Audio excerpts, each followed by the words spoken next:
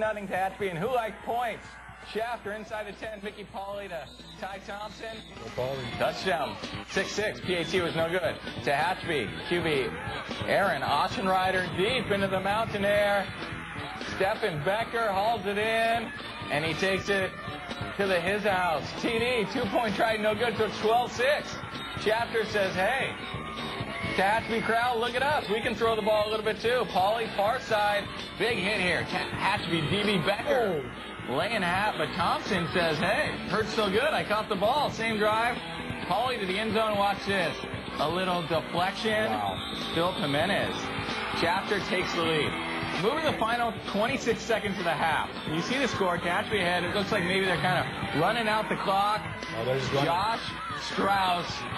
If this is running out the clock, They were running all right. As good as you can do it. Look at the guy in green go to move, and then get on upfield and get into the end zone.